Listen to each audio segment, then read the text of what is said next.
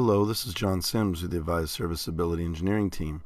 In this video I'll cover how to manually register using the global registration tool, the IP Office IP500 v1 core unit, or the IP Office application server.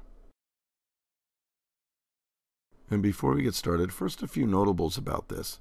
Unlike the IP500 v2 chassis or the server edition, registration cannot be initiated via the IP Office 8.1 or greater product itself using the built-in web manager.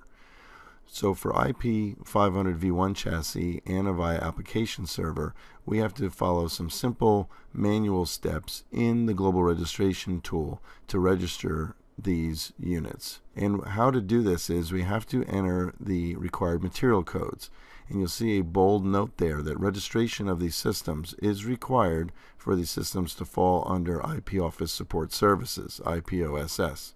The material codes you see are listed there for your convenience.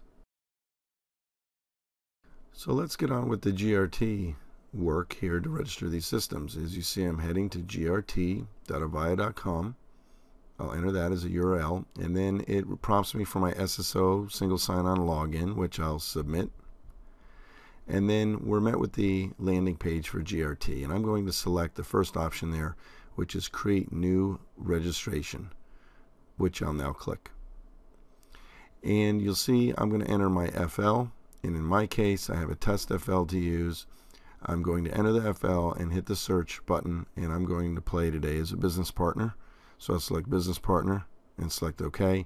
And instead of viewing an existing registration I'm going to select new registration option and click on that button for new registration. Now let this run real time. It pulls up the initial validation, site contact validation screen. You see we have test account information there and it asks me to enter my phone number, which I do, and that I want to receive email notification. And for the on-site contact, this is where you could supply first name, last name, phone number, and email of someone that you're working with on site. In my case, for this demonstration, I'll say same as above.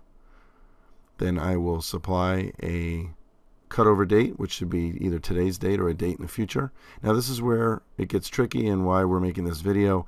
Instead of selecting IP Office 8.1 or greater, which is what we did for previous 8.1 registrations using GRT, we're going to select new install site.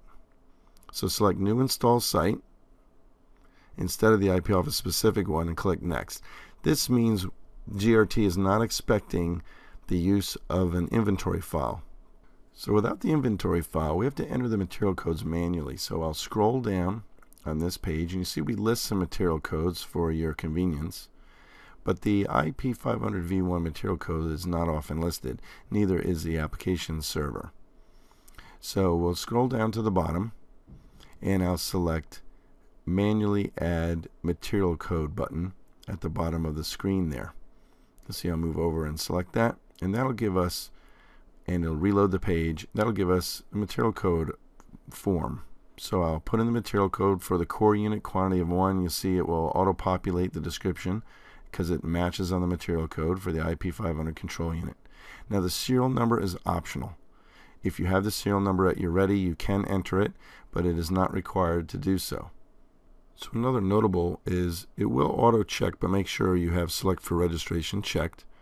Now I'll click manually add another material code. It'll reload the page and it'll give us another line form to work with. So I'll add in the material code for the application server and you'll see it'll populate with the DL120G7 server description.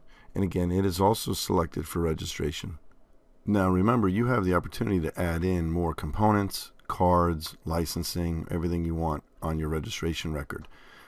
So it's time to click submit and you'll see we have a confirmation that we're going to proceed with the registration and I'll select yes to that and then we'll get final confirmation that the install base is submitted and you will receive a notification email. So I'll click OK to that and you'll be brought back to your registration list. Now you see I've been a busy boy. I have a lot of things here in the registration list for test purposes. Um, your list will probably look a little smaller unless you've had quite a bit of time here registering systems. Now you'll notice in my email I already have a GRT registration ID email and it's processed and you see in the email I have a registration ID that I can use as reference.